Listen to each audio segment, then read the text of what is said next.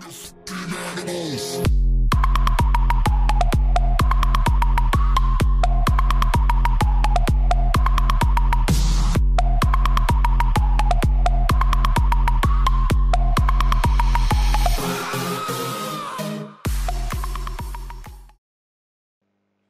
สวัสดีกับท่านผู้ชมทุกท่านเลยนะ วันนี้คุยอยู่กับผมสเปอร์ด็อกนั่นเองครับผม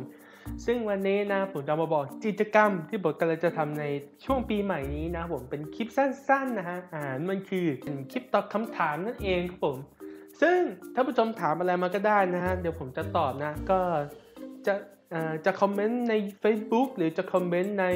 YouTube ก็ไม่ว่ากันนะฮะ แต่ถ้าเกิดคอมเมนต์ใน YouTube ได้ก็จะดีนะฮะ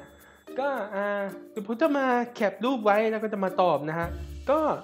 อ๋อใช่ก็ผมมีข้อแม้อยู่อย่างอยู่อย่างสองอย่างนะฮะคือแบบอาถามก็ได้ แต่ว่าถ้าคำถามที่ซ้ำกันผมจะไม่ตอบนะคือ รวมเป็นคำตอบเดียวไปเลยอ่าก็พยายามอย่าพยายามอย่าถามซ้ำกันนะฮะแล้วข้อที่สองห้ามถามเกินคนละ